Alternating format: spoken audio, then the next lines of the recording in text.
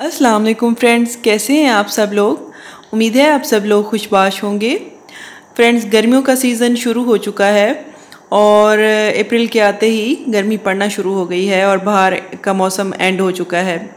Friends, मैं पिछले दो माह से ये सोच रही हूँ कि मैं जो है अपना गुले मरवा का पौधा किसी बड़े प्लांटर में शिफ्ट करूँ, क्योंकि जिस प्लांटर में ये लगा हुआ था वो टेन इंच का था और उसमें से इसकी जो टैप रूट थी वो नीचे से निकल आई थी ड्रेनेज होल से।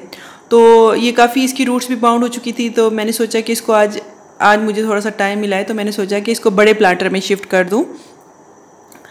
तो इसके लिए मैंने सॉइल प्रिपेयर की है और सॉइल के बारे में मैं आपको बाद में बताऊँगी। पहले मैं आपको गुले मरवा प्लांट का इंट्रोडक्शन करवा दूँ। गुले गुले मरवा जिसे कि इंडिया में कामनी कहा जाता है और महाराष्ट्र में इसको आ, कुंती कहा जाता है। इसके डिफरेंट नाम हैं फ्रेंड्स इसको जो इसका मेल आ, होता है प्लांट उसको गुले मरवा कहते हैं और जो इसका फीमेल प्लांट हो उसको गुले मरवी कहा जाता है।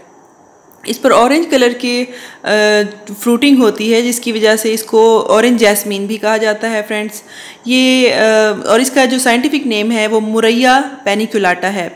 इसको फ्रेंड्स डिफरेंट नामों से पुकारा जाता है, और ये एक बहुत ही हार्डी और ट्रॉपिकल प्लांट है. ये सिट्रस फैमिली से बिलोंग करता है.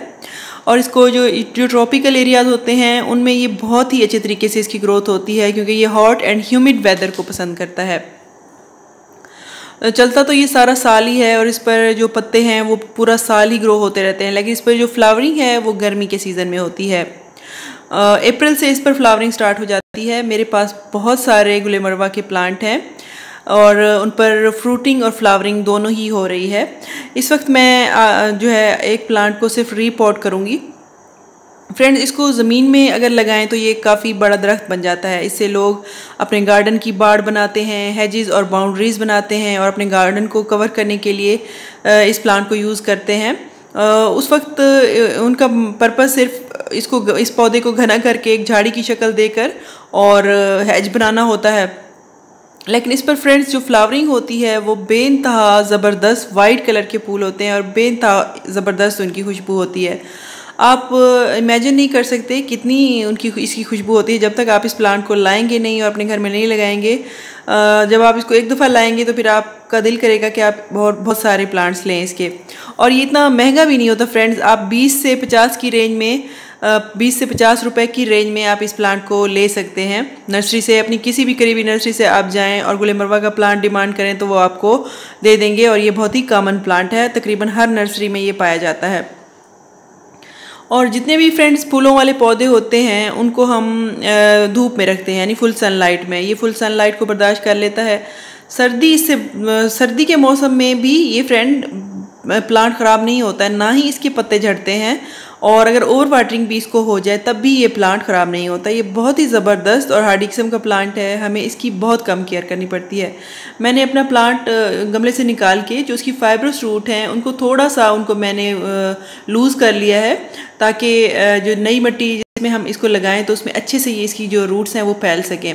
जो इसकी टैप रूट है, उसको हम नहीं छेड़ेंगे और इसको आहिस्तगी से जो बाहर की जो छोटी रूट्स होती हैं उनको हम थोड़ा सा लूज़ करके तो पॉट में शिफ्ट कर रहे हैं। ये देखिए, अब हमने इसमें पॉट में ये प्लांट शिफ्ट कर दिया और इसके ऊपर हम थोड़ी थोड़ी मिट्टी डाल देंगे और उसको अच्छे से प्रेस करके तो ऊपर से पानी दे देंगे और ये हमारा प्लांट रीपॉट हो गया। तो फ्रेंड्स, मैं आपको बता रही थी कि किस तरह से, कौन सी सॉइल इसके लिए प्रिपेयर करेंगे? सॉइल इसके लिए जो है, आप, मैंने जो प्रिपेयर किया इस वक्त वो है 50 परसेंट गार्डन सॉइल 30 परसेंट बालू मिट्टी और 20 परसेंट गोबर खाद। डीकम्पोज हुई हुई गोबर खाद आप इसमें यूज़ कीजिएगा। और हर महीने अगर आप इसमें एक मुट्ठी गोबर खाद डाल दें और पानी, उसके ऊपर पानी डाल दें, इसकी अच्छी तरह से गोडी करके तो फिर इसमें बहुत ही ज़बरदस्त किस्म की फ्लावरिंग और होती है और ये एक घना हो जाता है। आपके प्लांटर में भी ये बहुत अच्छी ग्रोथ करता है। अगर आप इसको ज़मीन में लगाएँगे तो ये एक दरख्त की शक्ल इख्तियार कर लेगा। और इसको आप अगर पॉट में लगाएँगे तो एक छोटी सी झाड़ी की शक्ल इख्तियार कर लेगा। लोग इससे बॉन्साई भी बनाते हैं इसके वायरिंग करके और थोड़ी सी कटिंग करके प्रूनिंग वगैरह करके तो इसके बॉन्साई बहुत खूबसूरत लगते हैं।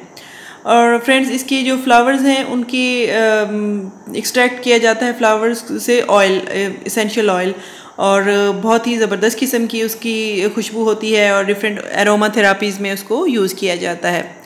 इसकी फ्रेंड्स फ्रूटिंग जो होती है, वो ऑरेंज कलर के छोटे छोटे फ्रूट्स होते हैं, उनके अंदर इनके सीड्स होते हैं। उनको खाया भी जाता है और उनको लगाया भी जाता है। यानी आप उन सीड्स को लगाएँ तो उससे भी ये ग्रो कर जाता है। बहुत इजीली और कटिंग के ज़रिए भी इसको ग्रो किया जा सकता है। कटिंग इसकी फ्रेंड्स आप बाहर के मौसम में 15 फरवरी से लेके 15 अप्रैल तक 15 मार्च तक सॉरी लगा सकते हैं और पूरा अगस्त का महीना, यानी बरसात के मौसम में इसकी कटिंग बहुत ज़बरदस्त तरीके से ग्रो होती है। तो ये थी फ्रेंड्स हमारी आज की वीडियो उम्मीद है आप सबको पसंद आई होगी। थैंक यू वेरी मच अल्लाह हम सब का हामी नासिर हो।